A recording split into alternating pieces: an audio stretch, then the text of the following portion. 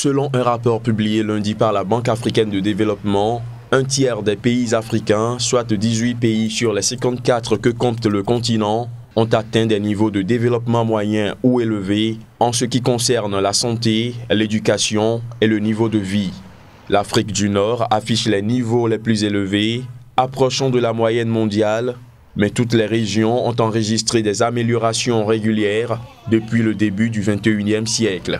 Selon le document, le Rwanda, suivi par le Ghana et le Libéria, ont enregistré le plus de progrès dans la lutte contre la pauvreté depuis 2005. Malgré les avancées notées, 544 millions d'Africains sur une population totale estimée à 1,2 milliard vivent toujours dans la pauvreté. En tête des problèmes qui contribuent le plus à la pauvreté en Afrique figure le manque d'accès au combustible pour la cuisine, à l'électricité et à l'assainissement.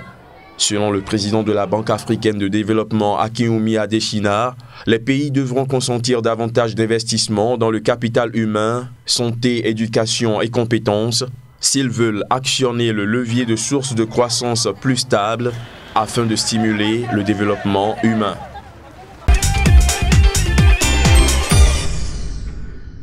Selon les perspectives de croissance révisées en début de ce mois de mai, le Fonds monétaire international avait prédit que les économies d'Afrique subsaharienne devraient progresser en moyenne de 2,6% en 2017. Un chiffre largement en recul par rapport à son niveau de l'ordre de 5 à 6% des deux dernières décennies. Pour espérer une croissance forte et répondre aux aspirations d'une population jeune et croissante, les pays d'Afrique subsaharienne doivent, selon une publication du blog officiel du FMI, prendre en compte trois préceptes. D'abord, assainir leur politique budgétaire, ensuite diversifier leur économie et enfin s'occuper de leurs populations les plus démunies. Le manque de réponse gouvernementale adéquate aux problèmes économiques de la région représente selon le FMI un sérieux handicap pour les pays qui peinent à décoller sur le plan économique. Même si certaines des raisons du ralentissement de la croissance de la région sont exogènes ou naturelles, comme la chute des prix mondiaux des produits de base et la sécheresse.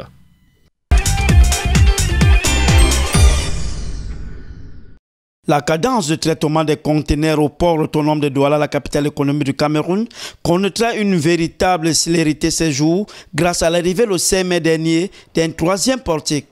La cérémonie inaugurale de cette nouvelle acquisition a eu lieu au port de Douala par Edgar Alain Mebengo, le ministre des Transports du Cameroun.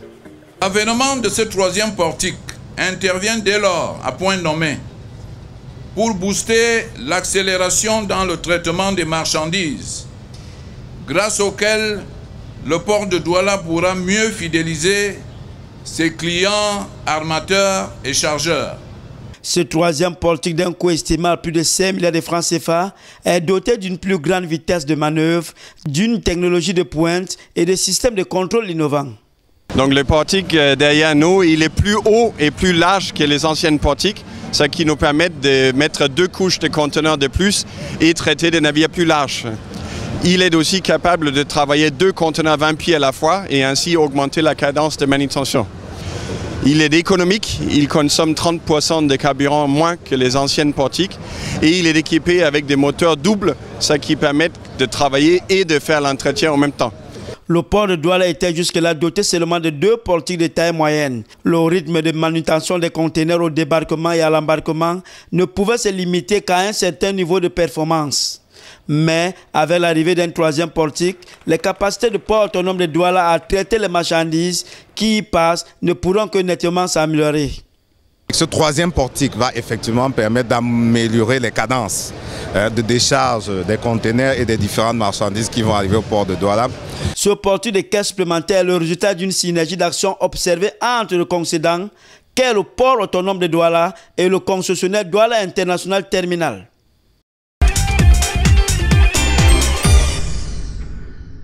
Au Kenya, la production de maïs de la saison 2017-2018 devrait reculer de 11,5% par rapport à la campagne précédente en s'établissant à 32,8 millions de sacs de 90 kg.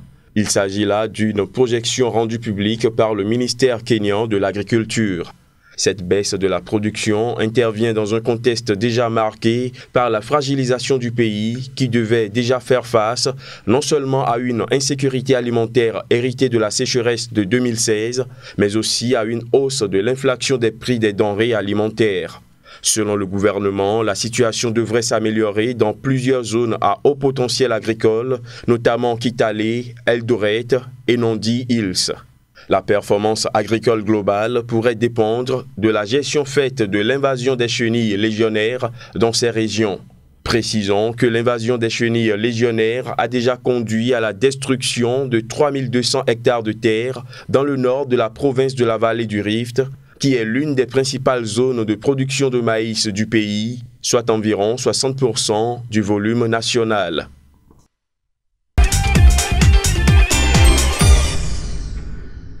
Le Nigeria, qui est tombé en récession l'année dernière, enregistre le cinquième recul consécutif de son produit intérieur brut au premier trimestre de 2017, avec une contraction de 0,5%. Ce recul est toutefois moins important qu'au dernier trimestre de l'année dernière, où le produit intérieur brut du pays avait souffert d'une contraction de 1,7%. Cette légère amélioration est due à la fragile reprise de la production du pétrole et de la stabilisation des prix du baril. Cependant, les secteurs non pétroliers ont progressé, l'industrie et le secteur de la construction se sont relevés. Un signe plutôt positif dans le sens où la contraction de l'activité économique a ralenti. Le Nigeria traverse actuellement une grave crise économique due en partie à la chute des cours du baril et aux attaques constantes de rebelles sur ses installations pétrolières dans la région du Delta en 2016 qui ont fait tomber la production à 1,4 million de barils par jour contre 2,5 millions il y a 10 ans. Aujourd'hui, grâce aux négociations engagées entre Abuja et les groupes armés, les attaques sont gelées et la production est remontée à près de 2 millions de barils par jour.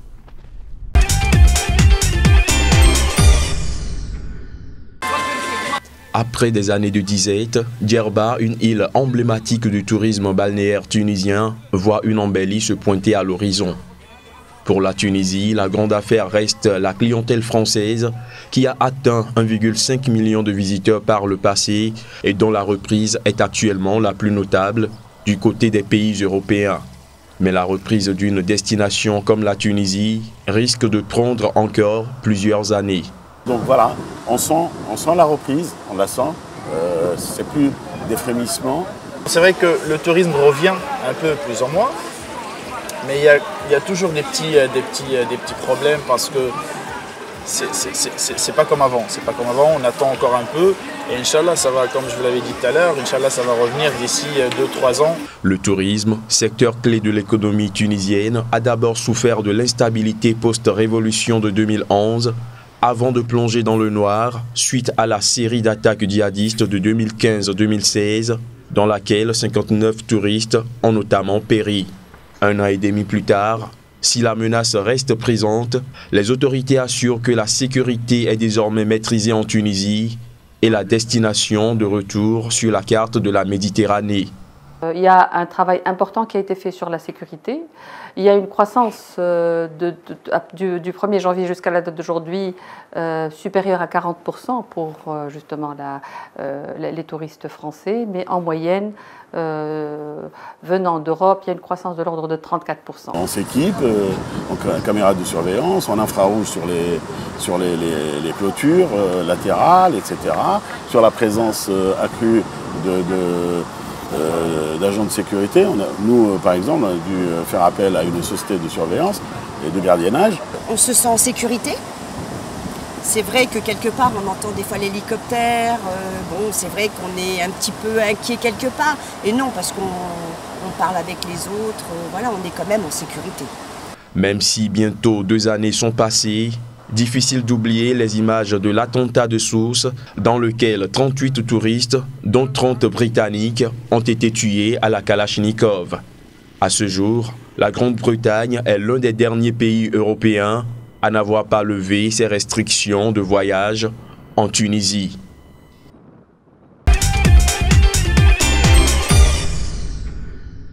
Selon un rapport publié lundi par la Banque africaine de développement, un tiers des pays africains, soit 18 pays sur les 54 que compte le continent, ont atteint des niveaux de développement moyen ou élevé en ce qui concerne la santé, l'éducation et le niveau de vie. L'Afrique du Nord affiche les niveaux les plus élevés, approchant de la moyenne mondiale, mais toutes les régions ont enregistré des améliorations régulières depuis le début du 21e siècle. Selon le document, le Rwanda, suivi par le Ghana et le Libéria, ont enregistré le plus de progrès dans la lutte contre la pauvreté depuis 2005. Malgré les avancées notées, 544 millions d'Africains sur une population totale estimée à 1,2 milliard vivent toujours dans la pauvreté. En tête des problèmes qui contribuent le plus à la pauvreté en Afrique figure le manque d'accès au combustible pour la cuisine, à l'électricité et à l'assainissement. Selon le président de la Banque africaine de développement Akinoumi Adesina, les pays devront consentir davantage d'investissements dans le capital humain, santé, éducation et compétences s'ils veulent actionner le levier de sources de croissance plus stable afin de stimuler le développement humain.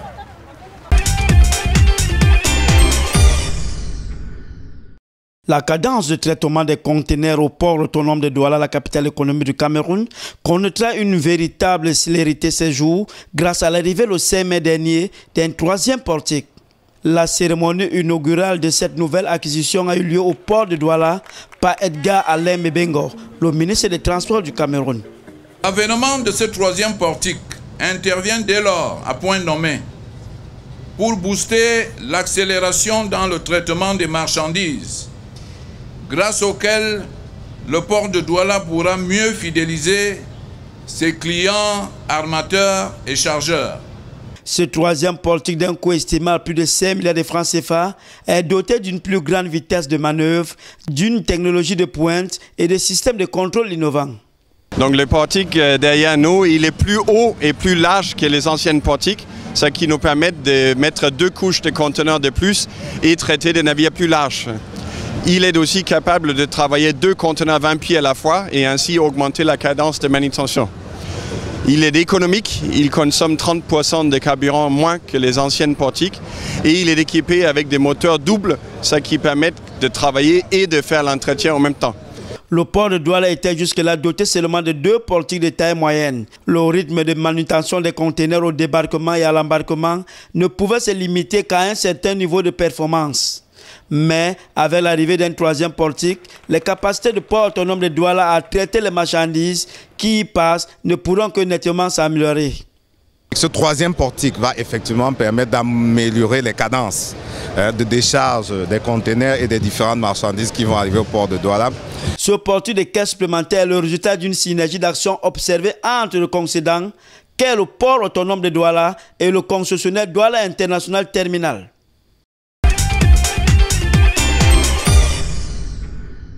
Le Sénégal, le Mali et la Mauritanie, trois États membres de l'Organisation pour la mise en valeur du fleuve Sénégal OMVS, vont bénéficier d'un financement de la Banque mondiale dans le cadre d'un projet d'extension de systèmes d'interconnexion électrique.